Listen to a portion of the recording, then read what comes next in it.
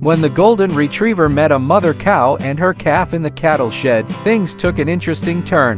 The golden retriever initiated a French-style affectionate kiss with the mother cow, leaving us wondering if it was their unique way of greeting or if there was a hidden motive behind it.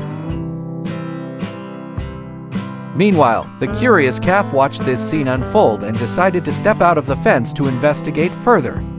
To everyone's surprise, the golden retriever approached the calf and began licking its coat. It was as if the golden retriever had transformed into a surrogate father figure for the calf.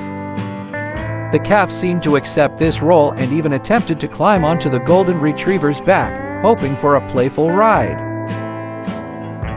However, the golden retriever, with a hint of helplessness, responded, I can't carry or bear this weight.